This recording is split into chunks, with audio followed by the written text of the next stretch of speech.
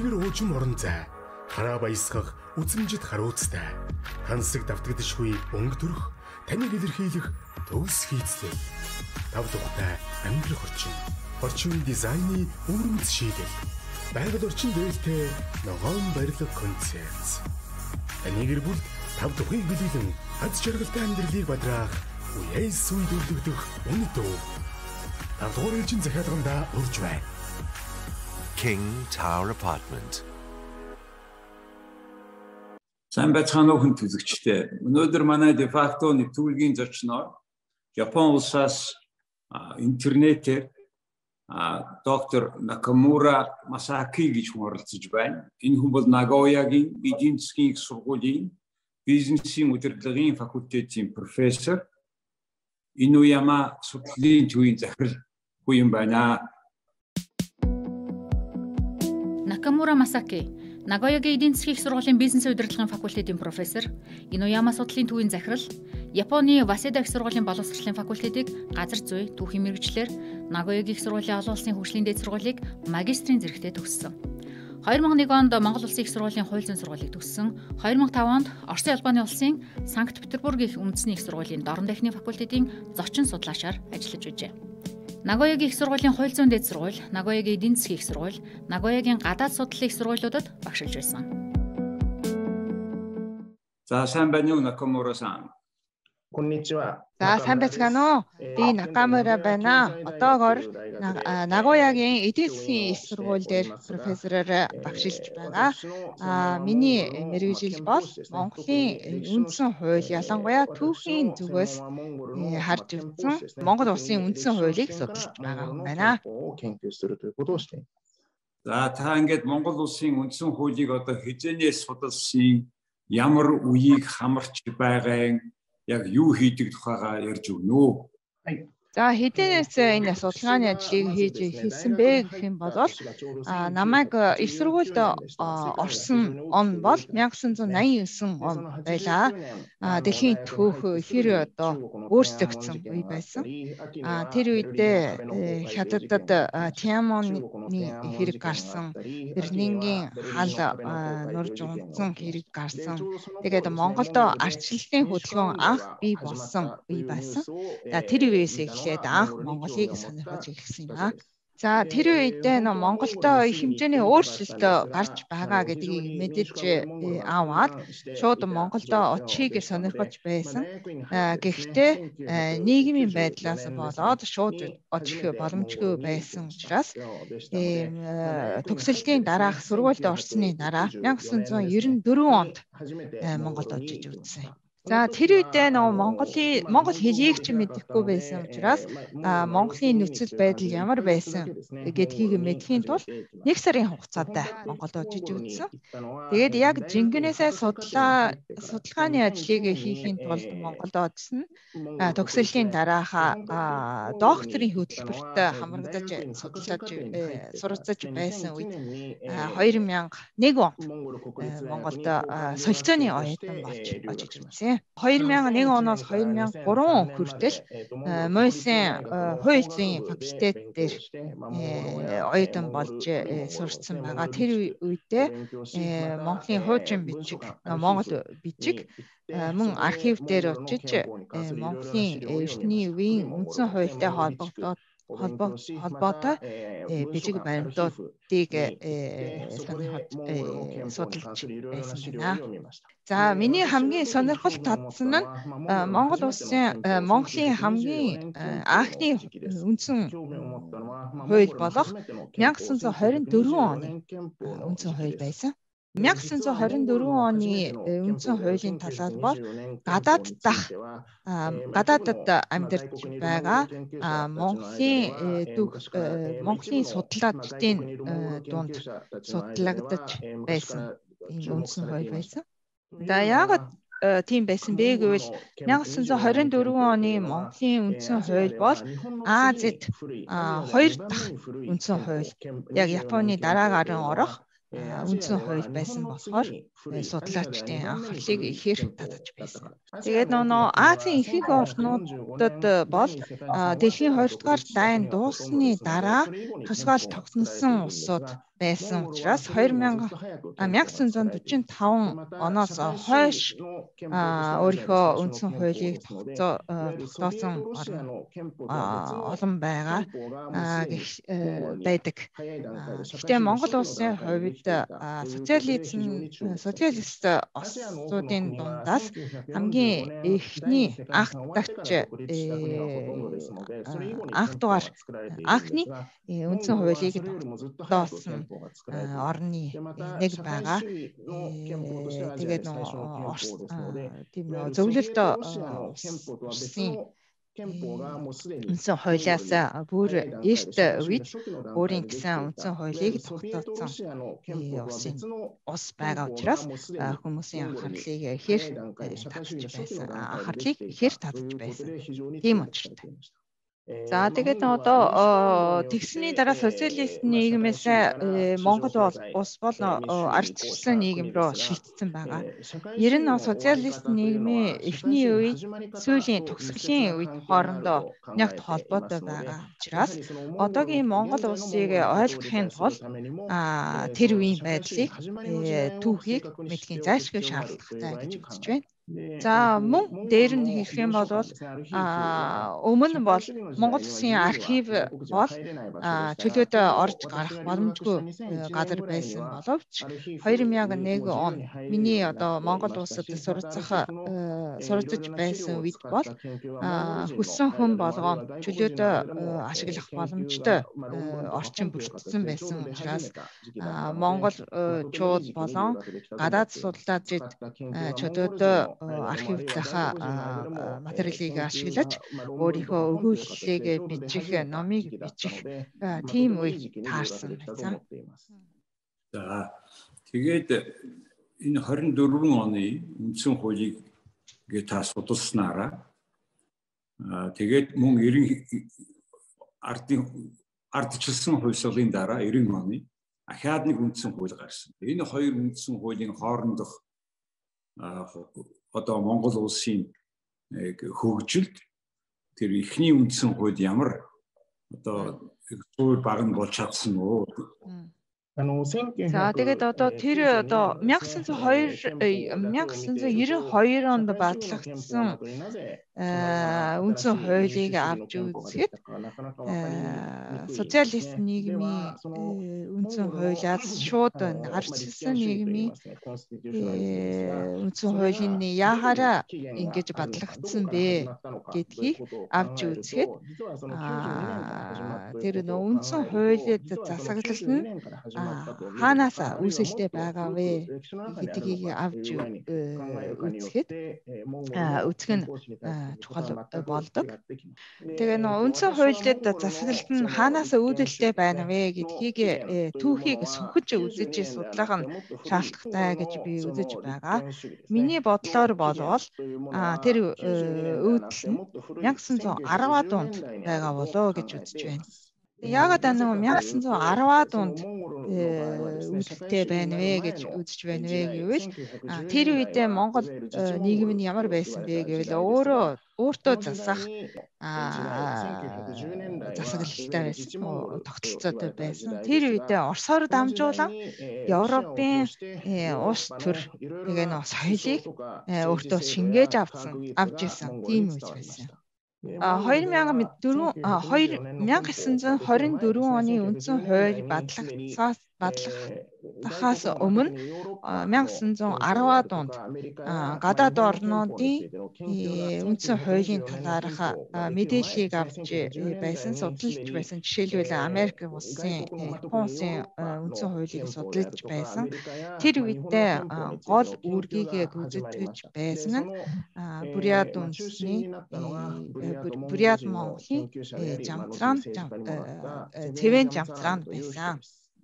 За тэгээ нэг 1921 онд ардын засгийн газар байгуулагдсан. Тэр үедээ судар бичгийн хүрээлэн гол үүрэг гүйцэтгэж ажиллаж байсан. Тэр хүрээлэн дээр гадаад улсуудын үндсэн хууль судлагдаж байсан. За тэгээ нэг судар бичгийн хүрээлэн бол тухайн үедээ хууль зүйн яамын харьяанд ажиллаж байсан. Аа тэгээд үндсэн хууль болон бусад хуулийг тогтоохын тулд судалгаа явуулах үжид үүр гүйцэтгэхийн тулд байгуулагдаж байсан. Тийм үүр гүйцэтгэж байсан. Тэр үедээ нөө богд хааны засаглалтай байсан. Тэр үедээ Англи улс болон Япон улс гэх мэтийн засаглалыг э, бий болгохын бийг зорж ажиллаж байсан. Тэр үедээ жавцраан бол үндсэн хуулийн суур сурах бичиг гэж хэлж болох усын эрх гэсэн зохиолыг бий болгосон байгаа. Тэрэн дээр Европ, Америк, Японы үндсэн хууль нь ямар байгаа гэдгийг танилцуулаад танилцуулсан. Завцраан өөрөө Оросд төрсэн нэг Санкт-Петербург хууль зүйн ангид сурч байсан хүн байгаа. Чөлөөд үзлийн э, дагуу. Тэр нөө карет гэсэн үзлийг гүйцэтгэхийн тулд нөө хэрэгжүүлэхийн тулд ажиллаж байсан. За нөгөө карет гэсэн намын чөлөөт үзлийг биелүүлэхийн тулд тэр бол одоо Англи улсыг загварчилсан ийм үзэлтэй байсан. За тэрийгээ нөгөө Монголд үндсэн хуулийн сурах бичиг болгоцсон тэр зохиолыг гол санаа болгож бичсэн болов уу гэж би бодсон. Жамцраногийн нарийн судалгааны бүтээл нь хаана хадгалагдаж байна вэ гэд би судалсан байгаа. Архив дээр очиход дэндээ биш харин садар бичгийн хүрээлэнгийн тэр бичиг баримтууд тэгээд нөө материалууд нь усын төв номын сан дээр хадгалагдаж байгаа гэдэг би мэдээлэл аваад тэнд очиход тэндээ хадгалагдаж байсан. За социалист нийгмийн үеийн түүх судлаачид бас тэр үеийн тухай судалгаа хийж байсан. Гэхдээ тэр бол тодорхой тэр үеийн бижиг баримтууд нь хаана хадгалж байгаа, ямар судалгаа хийгдэж байсан гэдгийгээ тодорхой бичигдээгүй байсан гэд Европын орнуудын үндсэн хуулийн талаар судалгаа хийгдэж байсан, орчуулга хийгдэж байсан гэсэн байдлаар ерөнхийдөө бичигдэж байсан. За тэр э, байдлыг мэдээд би одоо 1924 оны үндсэн хуулийн бадлагдахаас өмнө Европын орнуудын болон Японы үндсэн хуулийн судлагдаж байсан гэдгийг мэдээд мэдээд гайхсан. За тэгээд 1924 онд Богд хаан таалал өгсөн байгаа. Тэгэл 24 оны намар Коминтерны э, төлөөлөл Монголд орж ирээд ер нь Монголын э, Монгол улсын э, дотоод улс төр дээр их хэмжээний нөлөөлөл үзүүлдэг болсон байгаа. Аа тэгээд нөө жамцраан тэгээд Коминтерн хоорондын сөргөлдөөн бий болж эхэлсэн байна. За тэгээ нэг сургалтаа өвсөн үргэлжлээд байсан. Тэгээд эцсийн ямар дүгнэлтэнд хүрсэн бэ гэвэл тэр үеийн Монголыг хүлээн зөвшөөрч байсан зөвлөл холбоод улс байсан болохоор одоо Осын хэлбэрийн үндсэн хуулийг хүлээн зөвшөөрөөд Монголын үндсэн хууль болгосон болгоно гэд тэгээд дууссан. Жамцраан Коминтерны хэлбэрийн үндсэн хуулинд эсэргүүцэл илэрхийлэл илэрхийлж байсан гол үндэслэл нь юу байсан бэ гэвэл эрх мэдэл нь зөвхөн нэг цэг дээр төвлөрлөх төвлөрөх аюултай нөө эрсдэлтэй байсан.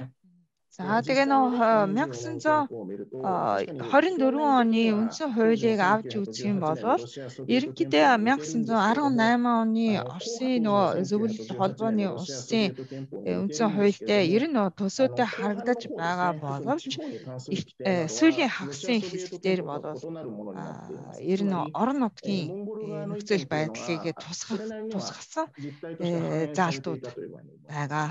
За 91 э, дэлхийн түүхийн талаар бас нөө э, хуулийн талаарх номыг уншихад бол Монголын үндсэн хуулийн талаар 1924 оны Монголын үндсэн хуулийн бол 1918 оны зөвлөлт холбоот улсын үндсэн хуулийг шууд хувирсан үндсэн хууль шиг бишгэлдэж байгаа боловч өнгөцөд тэгж харагдаж байгаа боловч ер нь орон нутгийн талаарх заалтууд бол Монгол улсын өөрийн өөрийн гэсэн нөхцөл байдлыг тусгасан заалтуудыг орсон байгаа гэдгийг онцлон би бичсэн байгаа. За тэгээд миний дээр дурдсан 1910 10 оноос 1924 оны үндсэн хуулийн талаарх ярьсан зүйлийн дээр ямар одоо учир шалтгаан учиртай байна вэ? Ямар аж холбогдолтой байна вэ гэж ярих юм бол би дараах одоо хоёр зүйлийг дурдмаар байна. За нэгдүгээр 1992 онд батлагдсан үндсэн хуулийн үндэслэл нь хаана хаана байна вэ? Яг гараа нь хаана байна вэ гэвэл 1910-аад онд байсан Жамцрааногийн үйл ажиллагаатай холбоотой улбаатай гэж үзэж байна. За 1989 онд Монголд арчлал бий болсон байгаа. Тэр үедээ хүмүүс социалист гэж юу байсан бэ? Одоо цаана цаашдаа бид нар ямар улсыг бий болгохыг зорих ёстой вэ гэж авч үзэхэд 1910-аад онд 20-аад онд ажиллаж байсан Цанцраногийн байдал үйл ажиллагааг эргэж харах болсон. Тэгээд одоо 1910-аад оноос 1920-аад оны төвхийг сөхөж үзээд за социалист гэж ямар байсан бэ? Одоо цаашдаа бид нар юуг зорих ёстой вэ? Ямар шинжилгээ хийх ёстой вэ? гэж авч үзэхэд бидний нөө зорих зорилт нь загвар нь одоо бидний өнгөрсөн түүхэн дээр байсан байна. гэдгийг Монголын нөө түүхчид тэрийг олж харах юм. Тэгээд 1990-ад оны одоо дөнгөж одоо арчлал гарсны дараахан а түүхийг сухалж үзээд тэгээд 1910-ад онд ер нь арчлал бий болж исэн. Ер нь социалистаас арай өөр маягаар одоо нийгмийг бий болгож байсан гэдгийг нөө түүхийг мэдэж авснаар бусад орнуудаас илүү саадгүй арчлалтыг бий болгож чадсан гэсэн учир шалтгаан тэнд байсан гэж авсан байна.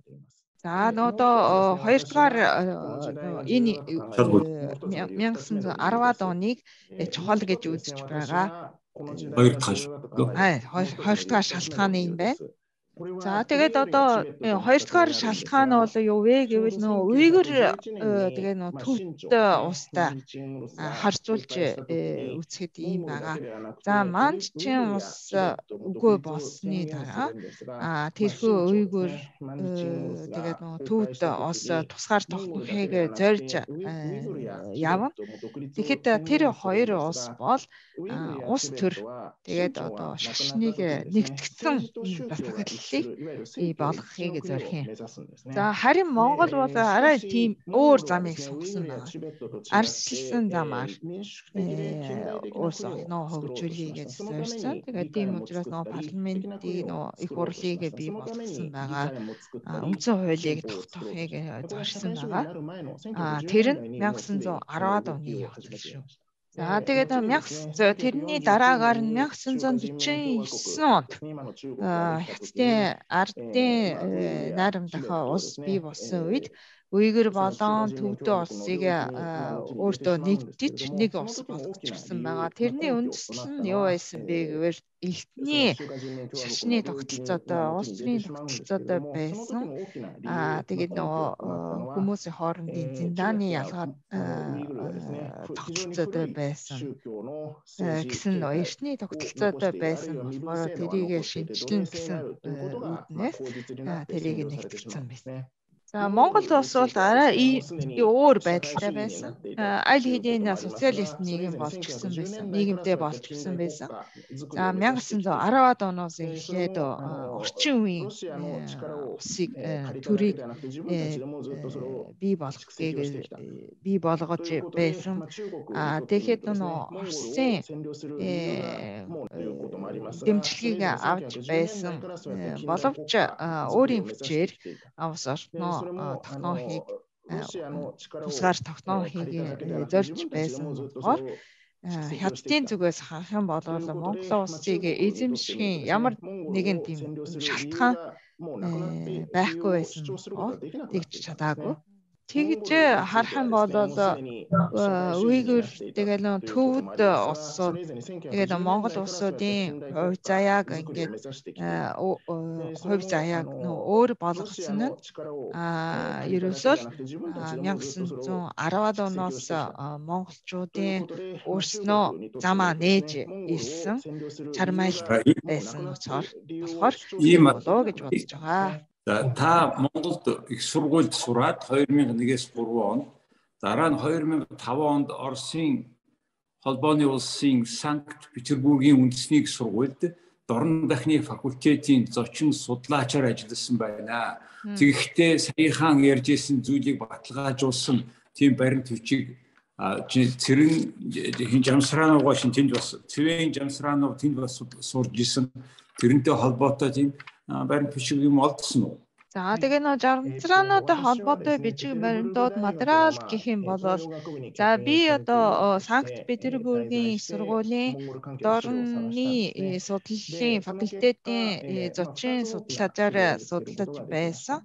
Тэр үедээ хоёр том зүйлийг олдсон байгаа. Нэгдүгээр нь Оросын дорны судал дорн судлалын хүрээлэн дээр мөн Оросын төв номын сангийн салбар нь Санкт Петербургт байгаа.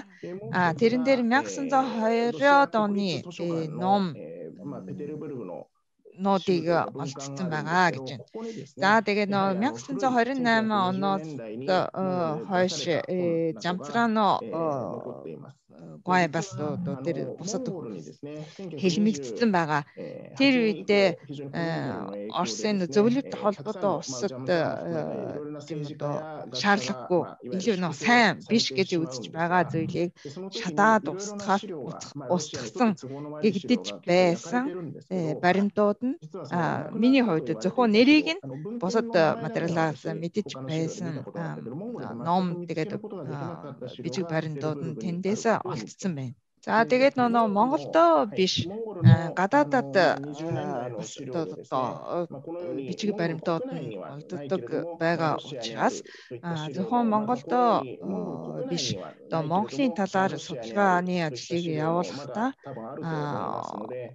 олон улсын хэмжээнд дээр авч үзэх нь чухал гэж тэр үедээ бодлоо. Жансраногоо чинь одоо Монголын бүрээд байсан юм уу, Оросын бүрээд байсан юм уу? Иргэнийхээ хувьд. Тэгээд Монголд хизээ ирсэн яг энэ хэсгийг би санагдахгүй байна таа. Тэгээ э, нэрээ тийм таны хэлсэнчлээ а Жамтраногой бол нөө Оросын бүрээд байгаа улаан үдэд төрсөн. Тэгээ Петербург, Санкт Петербург сургууль дээр төгсөөд тэр үеийн Монголын өөртөө засах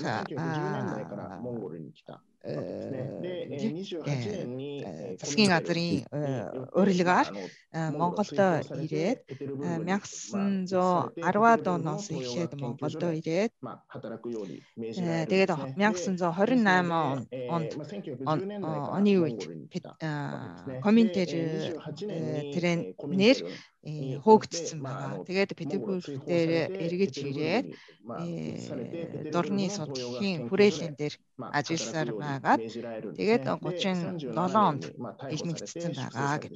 Тийм учраас ингээд Монголдо яг жинхэнээрээ ажилласан нь 20 20 жилийн хугацаанд Монголдо ажилласан байгаа. Тийм үг байна. Тэр 24 оны Монголын анхны үндсэн хуульд 1910-ад оноос энэ судалгааг бусад орны үндсэн хуулийг судалж ийсэн Жамсрано гэдэг хүний гол санаанууд орсон гэж та хэлээд байгаа юм байна. Яг ямар саналууд жишээлбэл За тэгээд одоо тухайн үед гадаад гадаад улсуудын үндсэн хуулийг судалж байсан тэр агуулга нь шууд 24 оны үндсэн хуулинд тусгагдсан биш. Гэхдээ төрөнд дуудсанчлан орон нутгтай холбоотой заалтууд дээр Оросын орон нутаг Монголын орнууд мэдээж хоорондоо өөр харьцан адилгүй байгаа учраас Монгол улсын орон нутгийн нөхцөл байдлыг тусгагц тусгацсан заалтууд болгосон байгаа нь Монголын талаас нь ажиллаж байсан Жамцраан гуай бас болон бусад мэрэгчлүүдийн саналыг тусгацсан гэж би бодож байгаа. Та нөгөө аймаг сумын би даасан аймаг сумын засан засаг захиргааны эрхийг хэлж гин үү яг юу хэлж байна? За тэгээ 10-аад оноос 20-аад онд олон янзын э, өөрчлөлт хийгдсэн байгаа учраас нэг үгээр илэрхийлэхэд хэцүү байгаа. Тухайн үед э, орон нутг дээр ноёд ноёдын ноёд гэж байсан. Аа тэгээд одоо тэр ноёдын эзэмшилтээр газар гэж байсан. Аа тэгээд 21 оноос хойш тэрийг хэрхэн яаж тэр тогтолцоог хэрхэн яаж өөрчлөх вэ гэдэг талаар орон нутгийн төлөөлөл төлөөллийн хурлыг бий болгох. Аа төлөлийг нь орцуулаад хурлыг бий болгох гэх мэт янз бүрийн өөрчлөлтийг хийж байсан байна. За тэгээ нөө 1910-аад онд Жамцраан гой бас бусад мэрэгчлэнүүд орон нутг дээр э, судалгааны ажлыг хийсэн байгаа гэдэг. За тэр нь Оросын э, дээр одоо баримтлалт байсан аргаар хийсэн байгаа. Тэр одоо үнс э, хаанаас нь гаралтай байна вэ гэвэл Германы эргэцийн あるんですね。で歴史歴史あтүүх эрхтний нөө судлал гэсэн ийм арга байсан. Тэр бол нөө орон нутаг дээр байгаа заншлыг тухайн одоо хуулийн заалтанда тусгасан тусгагдах тусгах байдлаар хуулийн заалтуудыг нөө тогтоож явъя гэсэн тийм арга байгаа.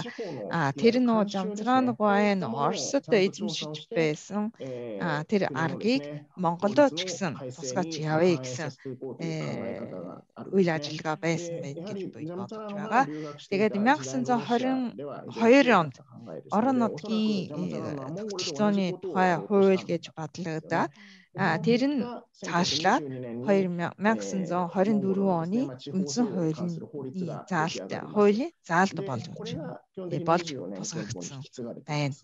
Тийм учраас 1910-ад оноос эхлээд хийгдэж байсан орон нутгийн э, хуулийн э, шинжилэл хуулийн хуулийн шинтгэлийн ажил нь явж яваад 1924 оны үндсэн хуулийн дээр тусгагдсан гэж би үзэж байна. За за их сонин мэдээлэл биднэрт өглөө. Тэрийн болгон бид сайн мэдэхгүй ялангуяа түүхч биш хүмүүс бол Тэгэхээр Монгол улсын ардчилсан Монгол улсын 1992 оны үндсэн хууль бол 24 оныхоо үндсэн хуулиас өгшөлттэй тэр нь болохоор 10-аад оноос хийсэн энэ ардчилсан ардчлалын агуулгатай бусад орны үндсэн хуулийг Жамсрано гэж хүнтэй одоо хүмүүс судалсантай холбоотой гэсэн чухал мэдээлэл явлаа. Танаас зөв их баярлалаа. За та та бүхэнд баярлалаа. За миний зүгээс энэ хүү нэвтрүүлгийг үзэж байгаа хүмүүстэй зориулж та бүхэнд эргэж одоо бодож үзээсэй гэж миний зүгээс хүсэж байгаа зүйлийг хэлье гэж бодож байна. За тэгээд үндсэн хууль бол тухайн улсыг бүрдүүлэх ийм зүйл байгаа. Ард иргэдийн улс төр дээр оролцох аргыг тогтоох зүйл байгаа. Бөгөөд тухайн үеийн дэлхийн дахины э, чиглэл хандлага хөтөлбөр олон улсын э, нөхцөл байдлыг яг л э, тусгах тусгадаг зүйл байгаа. 1910-ад оноос 1920-од оны Европын орнууд ямар байсан бэ? Ямар нөхцөл байдалтай байсан бэ гэдгийг авч үзэх юм бол дэлхийн нэгдүгээр дайны дараах Герман болон Орос бол ардчлалыг э, э, чиглэж байсан, зорж байсан. Тэгэхэд зүүн Европын орнуудыг нэг л зөөлрүүлэгч болгож байсан. Тэгснээрээ Европын орнуудыг тогтвортой байдлыг бий болгохыг зорж байсан тийм үе. Тэрний нэг нь Монгол улс байсан юм. За тэгээд нөгөө Европын улсад бол Habsburg-ийн эзэн хаан улс нуураад Европ дээр жижиг хэмжээний дунд хэмжээний олон улс бий болж байсан. Тусгаар тогтнол бий болж байсан. Балтийн гурван улс байсан, Унгар байсан, Польш байсан гэх мэт зүүн Европын дундад Европ дээр олон улс бий болж байсан. Тэгэхээр улс дээр ардчлал бий болгож э, болж э, үндсэн хуулийг тогтнож парламент бий болж исэн. Э, тэгээд нөгөө том гүрнийг тойрсон жижиг дунд хэмжээний олон улс ардчлалыг зорж үндсэн хуулийг тогтоож парламентыг бий болгож байсан. Тийм үе байсан. Тэрний нэг нь Монгол улс байсан. Тэгээд одоо 1989 онд зүүн Европ дээр алжлалт бий болж э, тэрний дагуу шин ус бий болж э, шин орнууд бий болж байсан. Тэрний э, дараагаар нь Монголдо 1992 онд үндсэн хууль тогтоож шин тогтолцоонд шилжиж байсан. Яг л одоо ижил байдлаар шилжиж байсан үе. Зүүн Европын улсууд дээр одоо ямар одоо үйл явдал болсон, ямар үйл явцын дагуу өөрчлөгдөж ирсэн талаар ялангуяа улс төрийн улс төр судалгын талаар олон судалгааны ажил хийгдэж байгаа. За тэр утгаар одоогийн Монголын э, байж байвал зохих байдал тэр үндсэн хуулийг хэрхэн яаж өөрчилж шинжилж явах тухай судалгаад бол зүүн Европын түүхийг судалбал тус болох болно гэж би бодож байгаа. За бас нэг юм зүйлийг хэлчихье гэн. За одоо цаашдаа э, энэ дэлхийг бодож үзэхэд э, ийм хоёр зүйлийг э, авч үзэх хэрэгтэй. За нэгдүгээр доо нөгөө англиар нөгөө популизм популизм гэж байгаа. Тэр нөгөө шилжиж байгаа нөгөө цагаад шилжиж байгаа хүмүүсийн асуудалч байгаа. Тэгээд нөгөө ядуурлын асуудал байгаа. Гэх мэт нь арчлалын асуудал дээр халдах эрсдэлтэй байж байгаа. За тэгээ нөө хоёрдугаар нөө геополитиксийн асуудал байгаа. Дэлхийн хоёрдугаар дайны дараах тэнцвэр олдож байсан мэд дэлхийн байдал ихээр өөрчлөгдөж байгаа. Ихээр одоо их гүрэн гэгдэж байгаа ус хооронд Тэгээ нөө их гүрнүүд хоорондын зөрчилдөөн юм асуудал их тусмаа. тэр орнуудад хавчигдаж байгаа жижиг хэмжээний орнуудын нөхцөл байдал тогтворгүй болох аюултай. За тэр бол одоо Япон ч юм уу Монгол өмнөд Солонгос зүүн Европын орнууд ч гэсэн нэгэн адил байгаа. Орос, Хятад, Америк гэх хэмжээний томоохон хэмжээний улс хоорондын зөрчилтэй байдал дээр автагдаад тогтворгүй байдалтай орох эрсдэлтэй байгаа. За тэгээ нөгөө дээр миний дурдсан популизмын асуудал бас геополитиксийн асуудал ч гэсэн ер нь цаашдаа зайлшгүй бидний авч үзэх шаардлагатай асуудал болох учраас цаашлаад үндсэн хуулийн талаар авч үзсэж ч гэсэн орхиж болохгүй чухал асуудал болно. Японд ч бай, Монголд ч бай популизмын аль болохоро багсгаад бууруулаад тэрнээс хамгаалаад тэгээ геополитиксийн талаар үүднээс авч үзээд арчлалыг хэрхэн яаж хамгаалж явж чадах вэ гэдгийг цаашдын 10 20 жилийн хоорондын чухал асуудал болно гэж бодож байна. За тийм учраас монголчууд та бүнд ийм зүйлийг бодож үзээсэй үзээрэй гэж хэлмээр байгаа. За үндсэн хуулийн талаар авч үзтээ зөвхөн дотоодын асуудал биш. Япон болон бусад орнуудад ямар байдалтай байна вэ? Ялангуяа хүйтэн дайн дууссаны дараа 30 жилийн хугацаанд хэрхэн яаж өөрчлөгдөж ирсэн бэ гэдгийгээ судлаж үзснээр өөрийнхөө өөрсдийнхөө үндсэн хуулийг яг өөрчлөх хэрэгтэй юу? Аль эсвэл бусад одоо хуулиудыг өөрчлөлснөөр өөрчлөснөөр тэр ахуй асуудлыг шийдвэрлэж чадах чадах уу? гэдгийг авч үзээрэй гэж хэлмээр байна. За тэгээд ер нь одоо одоогийн яг Монголын нөхцөл байдал нь 100 жилийн өмнөх Монгол улсын нөхцөл байдалтай адил байна. Тийм учраас ер нь дэлхийн хэмжээнд дээр авч үзээд дэлхийн хэмжээнд дээр авч үзээд Монгол улс нь ямар байдалтай байна вэ? Монгол улсын түүх нь ямар байдвэ байна вэ гэдгийг сайн судлаасаа гэж хэлмээр байна. Ер нь хөндлөнгийн чиглэлээр, босоогийн чиглэлээр за хөндлөнгийн чиглэл гэдэг нь олон улсын хэмжээндээр Монгол улс нь ямар байр суурийг эзэлж байна вэ? За босоо чиглэл гэх нь Монгол улсын өөрийнхөө түүх нь ямар байна вэ гэдгийг сайдар судлаасаа гэж хэлмээр байна. すみません。頭は以上です。 За миний зүгээр. Их баярлалаа тань. Аригаtou гозаймас. Баярлалаа. За. За хүн төлөвчтэй өнөөдөр манай дефакто нэвтрүүлгийн зочноор Нагоягийн их сургуулийн профессор Накамура Масаки оролцлоо. Баярлалаа.